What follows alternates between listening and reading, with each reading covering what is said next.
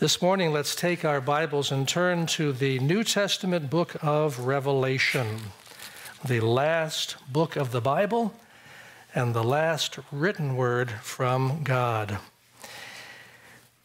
Revelation chapter 8 and 9, under the title Trumpets of Judgment. Trumpets of Judgment. Chapter 8 is going to talk about opening the seventh seal which is going to contain the seven trumpets. And we're going to see the end of the first half of the tribulation time. Now let's ask the Lord to help us and to give us his wisdom, shall we? Father, we're grateful for this chance to study your word. We ask you to help us to really understand it and be changed by it. For we ask it in Jesus' name. Amen. By way of background, if you're new to the study of Revelation, Revelation is in three parts. Revelation chapter 1 and verse 19 gives the most sensible division of Revelation. John is told by the Lord Jesus, Write the things which you have seen, the things which are, and the things which will take place after this. The things which you have seen, that's chapter 1. Jesus Christ in his glorified state as King of Kings, Lord of Lords, as the one who will judge the Christ rejecting world. Chapters 2 and 3 give us the things which are, and that's the church age, the time in which you and I live. The evaluation by the Lord Jesus of the seven churches in what is today western part of Turkey uh, and John had pastored one of those churches, the church at Ephesus. So had Paul, so had Timothy. And uh, they are given an evaluation church by church. You and I ought to be concentrating on chapters two and three and seeing where we fit in the church today. And we ought to be governing our prayers for ourselves and our others based on chapters two and three, because the Lord has some very strong words to say about his church. Chapter 4 is the rapture of the church, caught up in verse 1. After these things, and behold, a door standing open in heaven.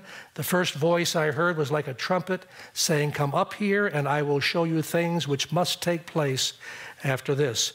Many see that as a parallel to the rapture of the church caught up in heaven, and we see the 24 elders around the throne representing perhaps the church of Jesus Christ. Chapters 4 and 5 do talk about heaven, talk about where we're going to be during the tribulation as the Lord begins to judge the world and take back the deed to this world. We saw in chapter 5 that Jesus took the scroll with seven seals the scroll seems to be the title deed of the earth. God had given dominion of the earth to Adam and Eve in chapters 1 and 2 of Genesis. We know they sinned in chapter 3 and gave that right to the world to the devil. Jesus and Paul said that the devil is the God of this age and the prince of this world. So, right now, the title deed is under the control of Satan, and we see his work all around, don't we?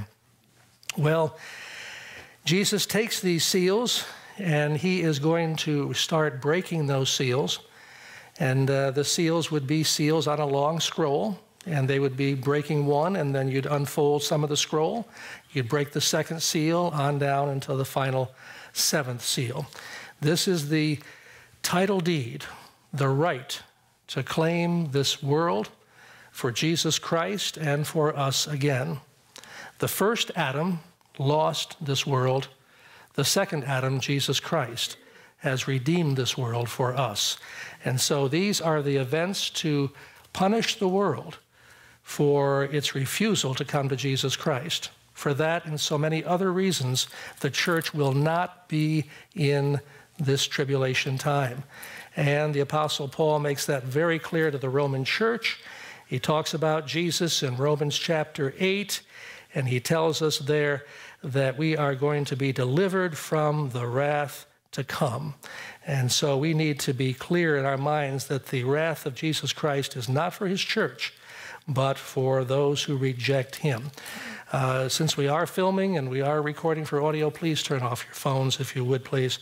Um, now, let's begin today with the study of the breaking of the seals. And uh, as each seal is broken, there are going to be catastrophic events here on earth. This document, this title deed, which has seven seals, by the time we get to the seventh seal, we're going to see that the seventh seal, as it opens, reveals seven more judgments known as the seven trumpets. And we uh, see that today. The chapter 6 begins the first seal, the revealing of the Antichrist. The second seal, conflict or war. The third seal, there's famine or starvation. The fourth seal, there's widespread death. Fifth seal, the death of the martyrs during the tribulation time, the sixth seal, cosmic disturbances in the heavens and the earth. Chapter 7 gives us a pause while God seals 144,000 Jews, 12,000 from each tribe, and He's going to commission them to go out to the then known world to preach the gospel, we believe. They have the name of the Father on their foreheads. And we see in the latter part of chapter 7 the multitude who have been slain for the testimony of Jesus Christ. They are with the Lord in heaven, they have died, but He is coming to uh, redeem them and to vilify the enemy and to vindicate His people. Now, chapter 8, we're talking about today the seventh seal. And as the seventh seal is broken, we're going to be seeing more devastation. There is a progression. The damage done by the first six seals being opened is terrible. The damage done by the uh, seventh seal and opening up six more trumpets is even worse. The opening up of the or sounding of the last trumpet is going to open up seven bowls of judgment, which are far worse than that. Putting this on the timeline, First of all, where we are today, 2012, almost 2013. The next event for us is going to be chapter 4. In Revelation, we're caught up to heaven. Then we see the earth plunged into seven years of tribulation. That began in chapter 6 with the first seals. We are now coming today to the end of that first three and a half years of that seven year period. After today, we're ready for the middle of the tribulation when it gets very rough. And then, and only then, are we dealing with the last three and a half years, which are known as the Great Tribulation, and in some places referred to as the tribulation. In other words, what we've seen and we're going to see today is comparatively speaking, nothing compared to what's going to happen in the future. To quote the old saying, you ain't seen nothing yet. All right, let's begin now with chapter 8 as we talk about preparation in heaven. There is still one more seal on that title deed to be broken, the seventh seal. Jesus is going to open it now in verse 1. When he opened the seventh seal, there was silence in heaven for about a half an hour. So there's going to be an awesome silence, like the calm before the storm. Can you imagine silence? Did you ever remember silence? We don't have silence anymore. Uh, unless you get up at 3 o'clock in the morning and go outside and leave your television off and your uh, uh, iPad and everything else off, it's hard to find silence anymore. It's awesome. And uh, it can be peaceful and it can be also very eerie. This will be silence, the calm before the storm, for a half an hour. And I saw the seven angels who stand before God, and to them were given seven trumpets. Now, a trumpet in uh, Israel was used to announce a number of things assembly, war, a feast, and here it's going to be announcing judgment.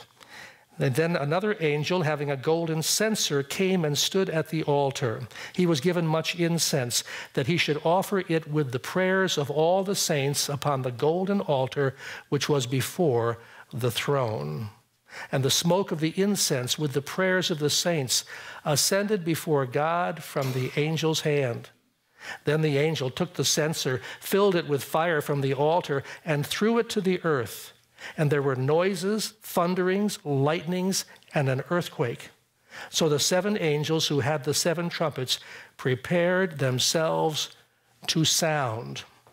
So, this we have as the preparation in heaven, the calm before the storm. After the silence, the most important thing to God before he moves, the most important thing to God before he unleashes his judgments is the prayers of the saints. Revelation tells us how important our prayers are, and we see it in the Old Testament as well. David says in one of his Psalms, May my prayers be like the evening uh, incense before you. There was an incense offering in the tabernacle, later on the temple. And we see a picture here of it going on in heaven. Remember, the tabernacle was really a little model on earth of what was happening in heaven. And what you saw in the tabernacle was a picture of heaven. If you want to see heaven, the clearest places in Scripture, I think, are Revelation chapters 4 and 5, which I just mentioned, and then go back and look at the little tabernacle in the book of Exodus. That will show you what heaven is about.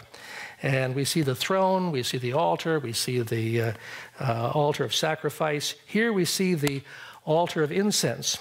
And uh, this angel now is going to uh, be carrying on the same thing those priests did so long ago. This angel has a golden censer, just like the high priest would have in the Old Testament times.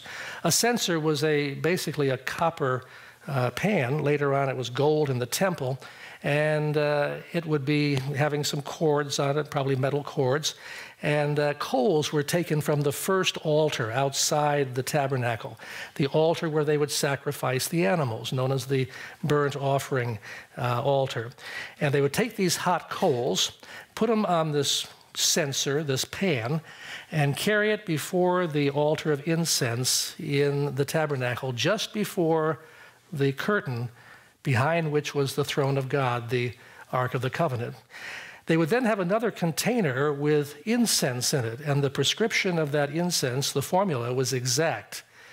And God said, Don't try to duplicate it, because if you do, you will die. So I've never tried to duplicate the formula, and I advise you not to do it as well. He would take with one hand some incense, put it in the, on top of the hot coals in the censer on the other hand, and the smoke would go up at the hour of prayer as the people prayed to God. That becomes a visual an aromatic picture, really, of our prayers before God. How important are our prayers before God? He instituted it right in the tabernacle worship. We see it here, and it is a sweet smelling savor unto God. So here, this angel, before God does anything, is hearing and honoring the prayers of his people. How important are your prayers and mine before God? He was given much incense, much because there were many prayers. The prayers being offered at this time are the saints who are still alive during the tribulation time. Believe it or not, there'll still be people who will survive all of this Holocaust, and they are praying to God for justice and praying to God for salvation, and God is hearing their prayers. This is one of the clearest pictures we have in Scripture that God does hear our prayers. And much incense is given because many prayers are going to be offered. And he offers the prayers of all the saints, every single one of those who belong to Christ, upon the golden altar which is before the throne. So God is hearing the prayers of those saints who are still alive here on earth. Now, the smoke of the incense with the prayers of the saints ascended before God from the angel's hand. Then the angel took the censer, filled it with fire from the altar. So he apparently went out and he got more, more coals and he threw it to the earth. And the result here on earth is noises, thunderings, lightnings, earthquake. Very much like it was when Moses was getting the law on Mount Sinai. There, the law was given with these awesome signs. Here, the law has been broken by man, and the awesome signs attended as well. And now we're just about to begin the second third of the punishments. We got through the first six, we opened the seventh one, and now we begin with the first trumpet. The first angel sounded, sounded his trumpet, and hail and fire followed, mingled with blood, and they were thrown to the earth, and a third of the trees were burned up, and all green grass was burned up. We're not just talking about a localized area, we're talking about the whole world. Trumpet number one is going to be so severe that it's going to have hail, it's going to have fire. I mean, hail in itself is pretty scary, isn't it? We've all been exposed to hailstones. Here we're going to see fire. We're also going to see blood, the blood of people who are dying, being hit and struck by the hail and the fire. And a third of the trees are burned up, and all green grass is burned up. So you can just imagine the devastation there. When you see the grass burned up, what are the cattle going to eat? And the trees for the shelter and the shade and the fruit and all of that, we're beginning to see the devastation on man as far as food and other areas too. Without grass, you're going to have erosion, you're going to have mudslides, you're going to have uh, all sorts of things that we see today in California when they have mudslides, houses sliding down. It's going to go on and on and on. The second devastation here on earth is going to be with the second trumpet. The seas are struck. Then the second angel sounded, and something like a great mountain burning with fire was thrown into the sea. And a third of the sea became blood. And a third of the living creatures in the sea died, and a third of the ships were destroyed. When you see language uh, such as something like, and you'll see it several times, more than several times in Revelation, that's an indication that it's not literal, but it's figurative. I say that because when you don't see the word something or like or as, take it literally. Otherwise, Revelation will mean nothing to you at all. So, this one tells us clearly that it wasn't literally a mountain, but it was something that came down, probably from heaven, that was like a great mountain, and it was burning with fire, and it was thrown into the sea. What sea? All seas. And a third of the sea became blood, not just the Mediterranean, which John could see as he was writing this, this epistle or this letter, but uh, all seas Arctic, Antarctica, Antarctica, all of it. And the third of the living creatures are going to die. It's going to turn to blood. And of course, there's also going to be a loss of more food, isn't it? And a third of the ships are destroyed. So people are dying and they can't get uh, supplies. Uh, today, ships still carry many, many supplies and resources and equipment for people. So now we've seen the vegetation struck, we've seen the sea struck, and these are going to come in rapid succession. And we're not even at the midpoint of the tribulation yet. This is not even where it gets rough. Can you imagine that? Third trumpet. This time, the waters, everything but the sea, the lakes, the rivers, the ponds. Then the third angel sounded, and a great star fell from heaven, burning like a torch. And it fell on a third of the rivers and on the springs of water. The name of the star is Wormwood. A third of the waters became wormwood, and many men died from the water because it was made bitter. The Israelites had a taste of this when they were going through the wilderness. And they came to a place they called Marah, where the water was bitter and they couldn't drink the water. And so Moses had a solution for that from God. And what was that solution? Hmm? Took a tree and put it in the water, right? And it cured the waters. That tree, incidentally, is a picture of the cross of the Lord Jesus. And when his tree is placed in the waters of your life, there is healing. Amen? And so here we find in verse 10 this great star, that's a literal star, is falling, and it's not a literal torch, but it's like a torch. And it covers a third of the rivers, the springs of water, and that means that one third of all the fresh water supply is going to be destroyed. So we've seen food destroyed in verse 7. We've seen more food and people and equipment and everything destroyed in verse 8. Now, verses 10 and 11, we find that the water supply is severely restricted.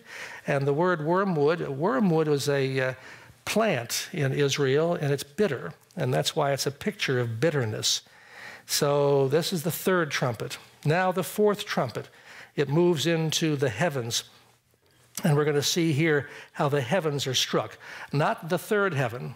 And remember now, the Jews saw three heavens. The first heaven would be the one with the birds around us. The second heaven would be the way out into the galaxy beyond the earth, into the, uh, into the universe, as we would call it. The third heaven, of course, is the throne of God, and nothing touches that. But this is going to cover the first heaven, the sky around us, the firmament, and the second heaven, the constellations, the stars. The fourth angel sounded, and a third of the sun was struck, a third of the moon, and a third of the stars, so that a third of them were darkened. A third of the day did not shine, and likewise the night. And I looked and I heard an angel flying through the midst of heaven, saying with a loud voice, Woe, woe, woe to the inhabitants of the earth because of the remaining blasts of the trumpet of the three angels who are about to sound. Here we find in verse 12 a reference to our solar system.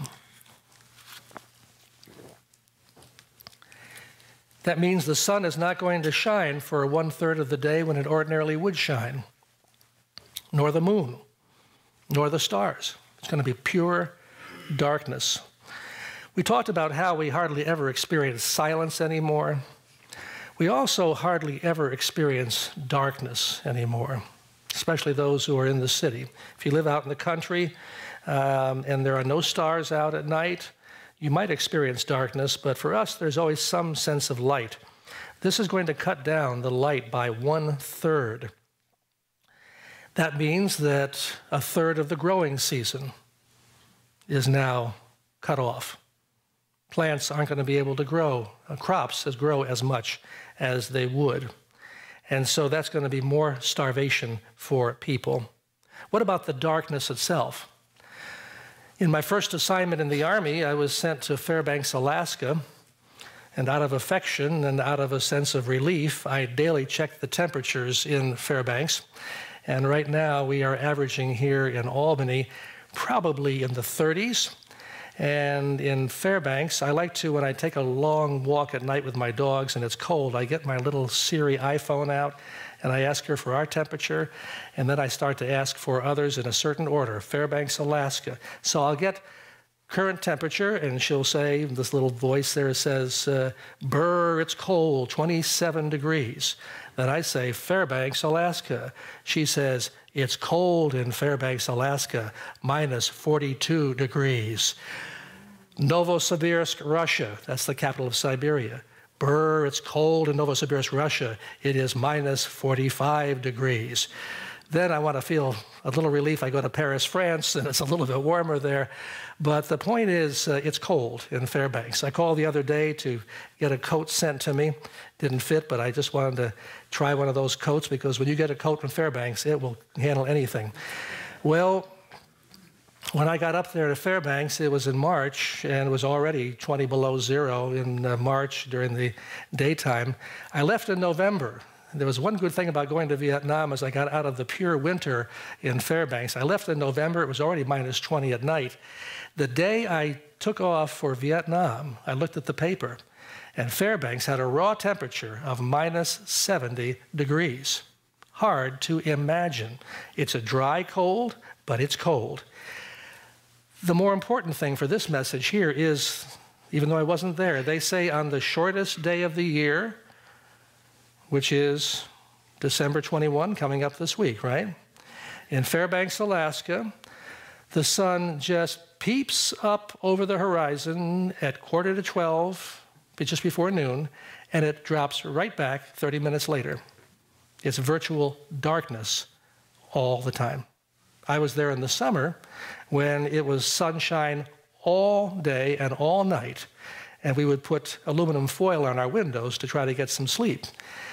The tomatoes over there were huge. They were like pumpkins, and everything that was growing because the sun was out all the time was just huge, including the mosquitoes, whom we called affectionately moose mosquitoes.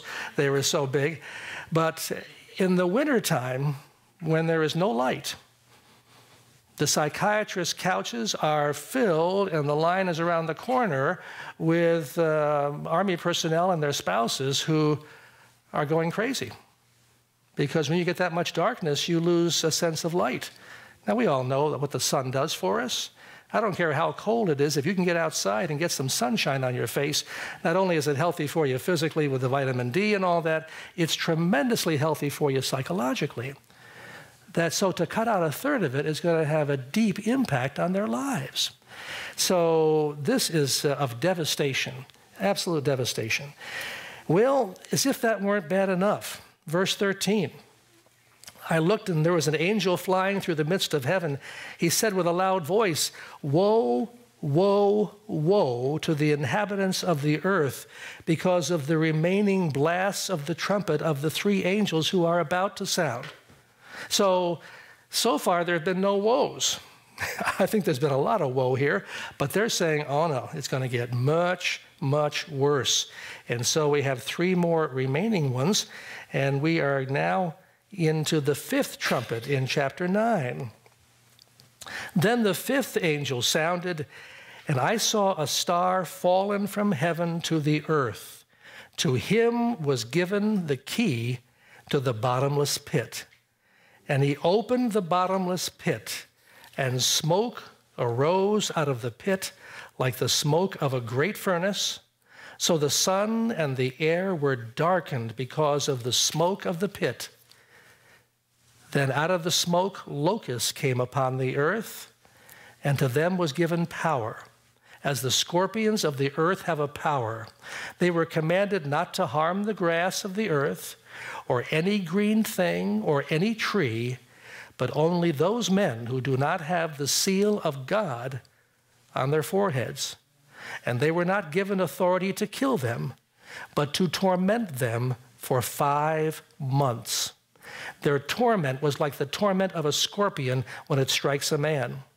In those days, men will seek death and will not find it. They will desire to die, and death will flee from them. The shape of the locusts was like horses prepared for battle. On their heads were crowns of something like gold, and their faces were like the faces of men. They had hair like women's hair, and their teeth were like lions' teeth. And they had breastplates like breastplates of iron, and the sound of their wings was like the sound of chariots with many horses running into battle. They had tails like scorpions, and there were stings in their tails. Their power was to hurt men five months. And they had as their king over them the angel of the bottomless pit, whose name in Hebrew is Abaddon, but in Greek he has the name Apollyon. One woe is past. Behold, still two more woes are coming after these. So you can see why, in spite of all of the destruction of vegetation, seas, waters, and heavens, and that's terrible, that doesn't count compared to what's going to happen now because we're moving into a much more serious situation deep, strong, demonic activity. So, chapter 9 and verse 1, let's go back and look at this angel. The fifth angel sounded, and I saw a star fallen from heaven to the earth. To him, it's an individual, was given the key to the bottomless pit, abyssos in the Greek. It is the shaft of the abyss. There are many references in the Bible to it. It is a place in the inner earth where the demon spirits are stored. You remember when Jesus was ministering and he cast out the demon spirits and they said, Don't send us to the abyss. They were talking about not wanting to go into this place that's a prison, it's locked. We all have demonic activity, don't we? Somebody once said, one of the great uh, counseling fellows uh, had, uh, in fact, this is a rather common belief, among others too, especially in the Reformed tradition. We love them and appreciate them, but many believe that we are in the millennium right now. And to quote my old teacher, Chuck Smith, if we're in the millennium and Satan is in the bottomless pit in the millennium, I think his chain is a bit too long to suit me. And this is not the millennium because there will not be that demonic activity that we have right now. We all have demonic activity, we all have uh, attacks from the enemy, to be sure. But there are some angels who are so fallen and so bad, these demon spirits, that God will not allow them to operate in our lives unless and until such time as He does it under a restricted purpose. They're that bad. So here we find the star, and the star is clearly Satan. We see him fallen. Jesus saw this prophetically when he was on earth, and he said to his disciples, I saw Satan falling. And he looked into the future and saw this time. And the uh, reference is going to be a little bit later on in Scripture in the middle point. That's why we're just about at the midpoint now. We're going to see Satan falls or is cast out of heaven at the middle of the tribulation. Until now, we know from the book of Job and other references that he has access to the throne, and he's there, according to Hebrews, accusing the brethren day and night.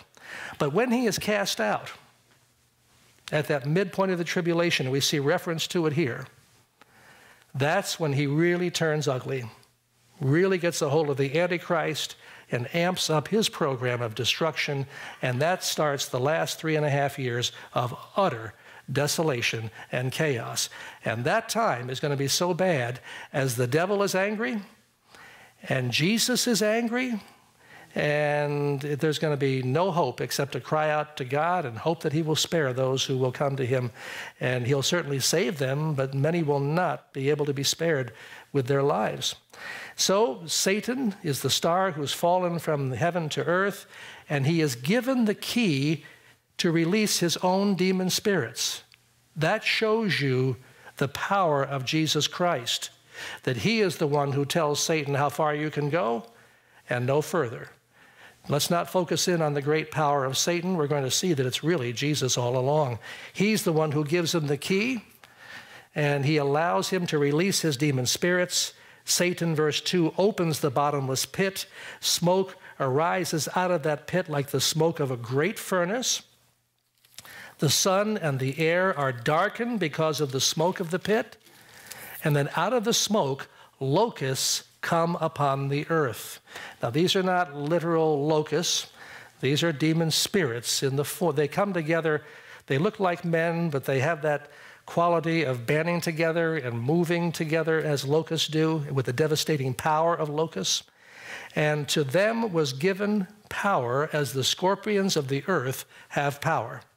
So again, let's focus not on Satan, but on Jesus. Jesus is the one who gives Satan the key. Jesus is the one who gives these demon spirits the power to exercise on man. So nothing is done by Satan but what he gets permission, as he does in Job chapter 1. Can I have an attack on Job? And God restricts him and says, Yes, but don't kill him. Don't touch his body. Everything else is fair game. So you think the devil's pushing you too hard? Talk to God about it and tell him, Lord, I think we're getting a little bit of trouble here. Show me how to resist him. And God's going to say, according to James, first step in resisting the devil is what? Draw near to me. Come to me. And then I'll give you the strength to resist him. Verse 4 they were commanded not to harm the grass of the earth. That wasn't Satan commanding it. If Satan had his way, they'd kill everything. Jesus is there to determine how far they can go. Do not harm the grass or any green thing or any tree. That's not part of this program. But only those men who do not have the seal of God on their foreheads.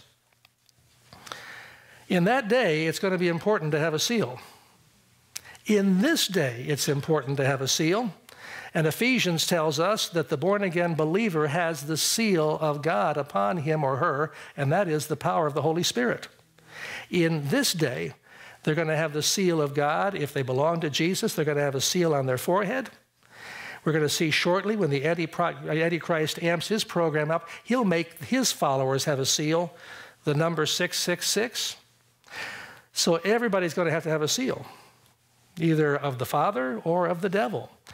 In any event, uh, do not only harm those who do not have the seal of God on their foreheads, which will be most of the people in the world.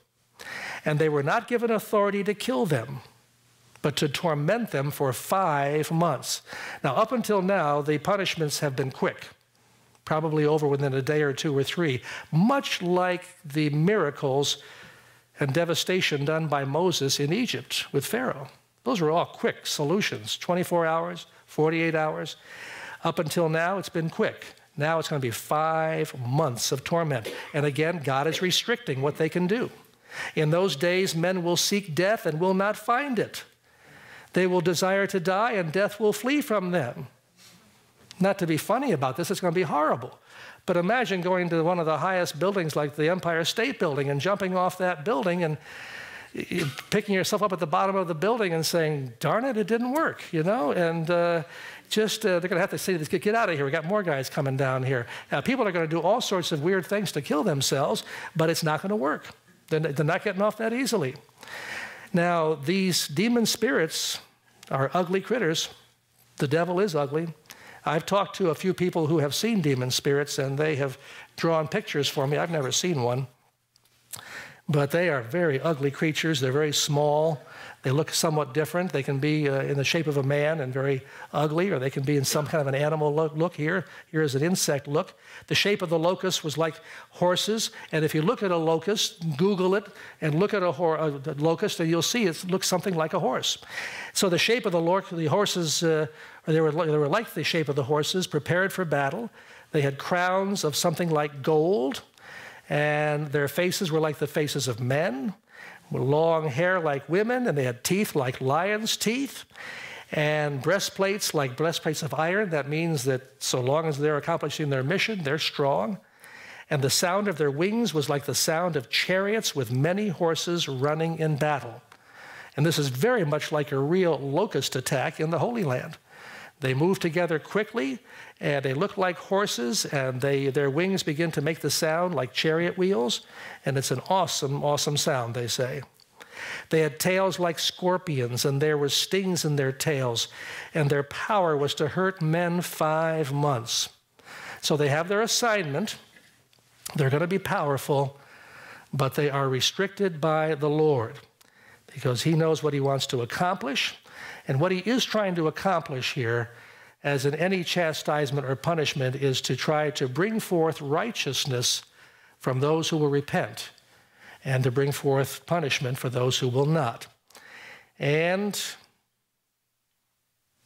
again, referring to Satan, they had a king over them, the angel of the bottomless pit, whose name in Hebrew is Abaddon, which means destroyer, or Apollyon in the Greek, the same thing. Jesus said about Satan that he has come to steal and kill and destroy. When you look at the work that he does in people's lives, it is nothing but destruction. And then verse 12 one woe is past. Behold, still two more wo- woes are coming after these things. So these are the worst of this phase of punishments. Now we get to the sixth trumpet the angels from the Euphrates River. Then the sixth angel sounded, and I heard a voice from the four horns of the golden altar which is before God, saying to the sixth angel who had the trumpet, Release the four angels who are bound at the great river Euphrates. So the four angels who had been prepared for the hour and day and month and year were released to kill a third of mankind. Now, the number of the army of the horsemen was 200 million. I heard the number of them, and thus I saw the horses in the vision. Those who sat on them had breastplates of fiery red, hyacinth blue, and sulfur yellow. And the heads of the horses were like the heads of lions, and out of their mouths came fire, smoke, and brimstone. By these three plagues, a third of mankind was killed. by the fire and the smoke and the brimstone which came out of their mouths. For their power is in their mouth and in their tails, for their tails are like serpents having heads, and with them they do harm.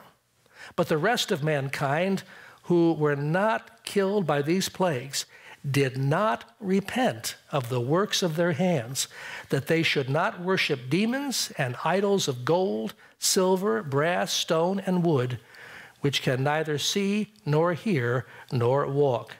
And they did not repent of their murders or their sorceries or their sexual immorality or their thefts. The sixth trumpet has been misunderstood, and it's been um, misunderstood more recently.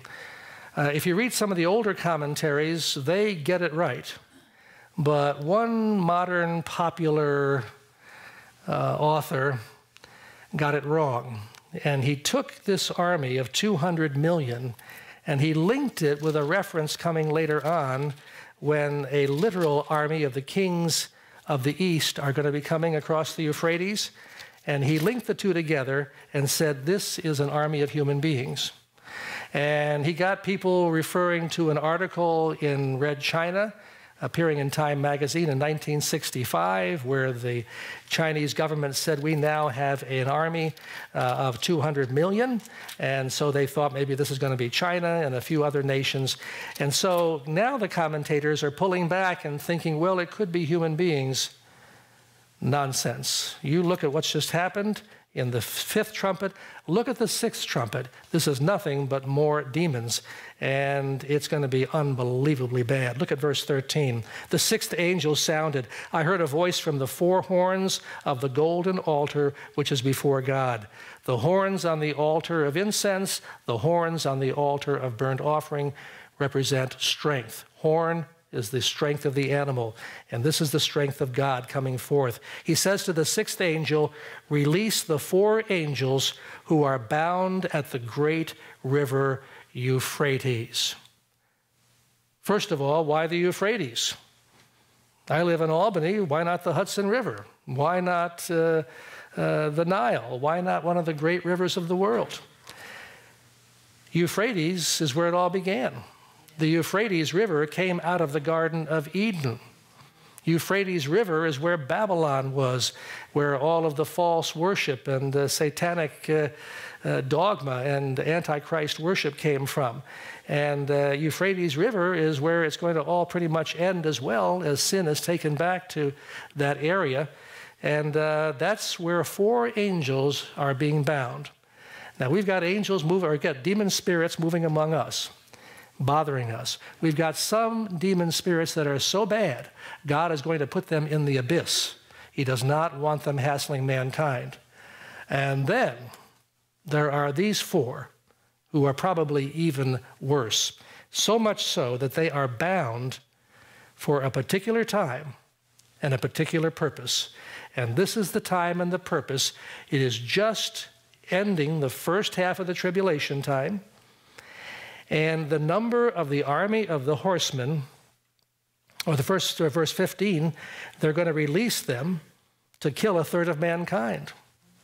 Now, it can't be human beings because four angels aren't going to have, or four demons don't have control over armies. They can influence them somewhat, but this is a direct control from these four angels over these other demon spirits.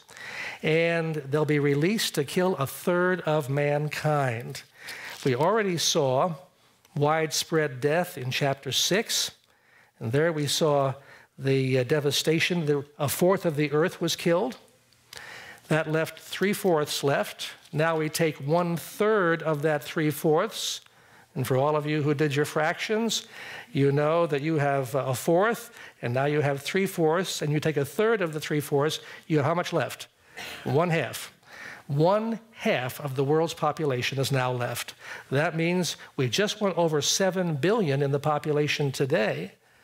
Who knows what it's going to be in that day, but in this day it would be well over two and a half billion people are killed by this attack from these spirits. And thus I saw horses in the vision. This is how they look. We saw them look like locusts in the earlier part of the chapter. Here they look like horses with riders and uh, breastplates of fiery red, hyacinth blue, sulfur yellow, heads like horses were like the heads of lions, and out of their mouths came fire, smoke, and brimstone. Those who hold this as a literal uh, army, aside from the problems of the logistics, how many were in the military here? Anybody in the military? Uh, the logistics, I was a company commander in Alaska, and I'll tell you, just for 150 fellows, to try to get the logistics, the food, the supplies, the uh, sanitation, all of that. That was a huge undertaking. Uh, can you imagine at two, uh, 200 million? It would, would not be possible. Uh, but uh, 200 million demon spirits, no logistics problems. These guys don't need to eat, they don't have to clean up after themselves, they just go in and do their damage. And um, some have said, well, if it's men, this is a picture of warfare, and it could be atomic bombs and whatever. Yeah, it could be, could be a number of things, but it could also just be purely out of the pit of hell as well. So, uh, whatever method is going to be, it's going to kill a third of mankind that's remaining. Uh, and the fire and the smoke and the brimstone coming out of their mouths. What does fire and smoke and brimstone conjure up in our minds? Hell, lake of fire, doesn't it? Finally, the final place of man fire and hell. And think about all of this. We're not going to be, if you're in Christ, you're not going to go through this. But if the Lord were to come today and take you out of the way, would someone in your family or your circle of friends be left behind? And if so, they would have to go through this. What happened if you came to the Lord that you gave your heart to Christ? What did someone do to you to bring you to Christ? Someone shared the good news with you. What's our obligation? Say, first of all, thank God I won't be here to see it. Yeah. But then I've got family and friends who will if the Lord comes now. I need to get the good news out. Amen. We'll talk more about that shortly. All right, this is going to be a horrible situation. Verse 19 Their power is in their mouth and in their tails, for their tails are like serpents having heads, and with them they do harm. So, this is a picture of demonic activity as John sees it. The amazing thing, and really not so amazing, verse 20 the rest of mankind who were not killed by these plagues did not repent of the works of their hands, that they should not worship demons and idols of gold, silver, brass, stone, and wood, which can neither see, nor hear, nor walk. And they did not repent of their murders, or their sorceries, or their sexual immorality, or their thefts. You would think conceptually that with all of this going on, they'd wake up and say, uh, I don't want any more of this. Lord, help me. Is anybody witnessing at that time? The 144,000, presumably. We'll see in Revelation there is an angel going around and like a satellite almost and uh, proclaiming the gospel. We're going to see shortly in Jerusalem two witnesses will be standing up, and perhaps they're already at work now some think it'll be Moses brought back and also Elijah. Moses representing the law and Elijah the prophets. We don't know for sure. But there'll be witnessing going on. There'll no doubt be some kind of television programs about Christ and radio and literature. Um, they'll be watching Reach Out at that time. We'll be keeping those uh, CDs around, right? We're going to be saving those. And uh, they'll have a chance to hear the gospel, but they're not going to want to do that. They're not going to want to repent. The rest of mankind who were not killed by these plagues did not repent of the works of their hands, that they should not worship demons, idols of gold, silver, brass, stone. They're going to still be involved in their murders, their sorceries. That's an interesting word. What's the Greek word for sorceries? It's, uh, you know it, pharmakeia. And from that, we get the word pharmacy, drugs. And uh, the drugs were no doubt involved with their worship of, their, of the different gods, and today as well. Um, we talk about drugs and uh, we talk about uh, the street drugs, and we're all against that. And I think for the most part, we're all on the same page about the, pharma, the uh, medical side of things. Uh, necessary, uh, unfortunately, in so many cases, but no doctor that I ever know said, hey, just, just start taking medications, they're just good for you. No, no, no. They have all sorts of restrictions. Go to your pharmacy. Hey, just give me all the meds you can find on shelf number one. Sure, we're having a bargain basement sale day. Take all you want. No, they are very strict about that. very strict because everybody realizes the dangers of it. Uh, one thing I learned early on in hospital ministry, as I would go to see people who had some serious situations, and I'd say, How are you doing? Well, I had this dream and I felt that I was so and so. And you get these bizarre stories. And your first reaction is, They're nuts. They're here because they're having their foot worked on. They ought to get their head worked on. But they're not nuts. You trace it back to medications. Again, I'm not saying don't take medications, but I'm saying what the doctors say, there are going to be side effects. Uh, these poor advertisements, they try to advertise something. It was like in the old days when they'd advertise cigarettes and they'd have to say it's going to kill, etc. Medication, and you're, you're floating like a butterfly and you want to have a euphoria because of antidepressant and you see a nice sky and the butterfly. And uh, why don't you try, was it Levitra or something else here? Be warned that, and then da, da, da, all the things that can happen if you take it. You know, whoa, including depression, including murder uh, or suicide. Um, so we need to watch out for the medications. I'm talking medically now. Don't get dependent. I know folks who consciously try to take as little as they can, get off it as soon as they can. Uh, unfortunately, many folks have gotten hooked on it. But um, that'll be a major part of it, a major part of that demonic worship. And so they're not going to repent because of all these problems. Why? Well, I've made a little note here in the lesson on the ninth chapter awareness of sin and grace, not suffering, brings repentance. Awareness of one's sins and of the grace of God, that's what is going to bring repentance. And think about this for your family and friends. You've got people you're witnessing to, a spouse, a relative, a dear friend. And you keep witnessing and witnessing, and you show them tracks, and you give them CDs, and have them watch television programs, and they just don't get it. And you're thinking, what's wrong? What's wrong? You pray for a miracle in their lives. My former partner in law had a baby who was born at six months. Do the math. Six months the baby came out. She'd been on oxygen. They were concerned about the eyes. I was going to a church in Schenectady with Angie, at an old church in Glenmont that we were praying. We prayed and prayed. That child came out. She came out well. She came out normal, seeing a little smaller than the average kid, but still perfectly well. I haven't seen her in many, many years. Surely my partner is going to realize that is the hand of God and give his heart to Christ. Well, he said, Thank God for doctors. Thank God for the miracle of medicine. And that's what he ascribed it to. And that's not unusual because suffering, miracles, even your own testimonies alone, and I use the word alone, are not going to bring people to Christ. Now, miracles are important. Your testimonies are important. Suffering can be a catalyst I came to Christ through financial suffering. You came to Christ maybe through suffering as well, but it has to have the awareness of sin and of the grace of God. So if you're wondering why somebody's not moving to come to Christ, and you've seen things happen, you've seen their world fall apart, and you've tried to share Christ and they're still not coming, don't give up, keep praying, but you'll understand why maybe the missing link or links is not there. Lord, make them aware of their sins and of the grace of God, and use me as an instrument to reach them.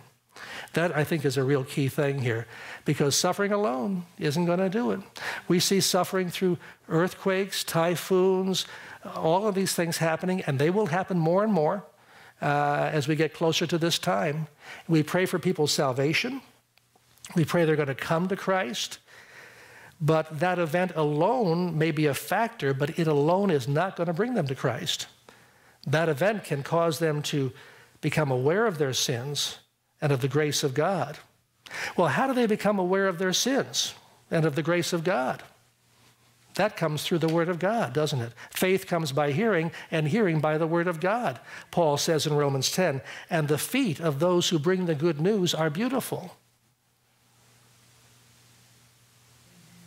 Are you praying for the saints and the unsaved?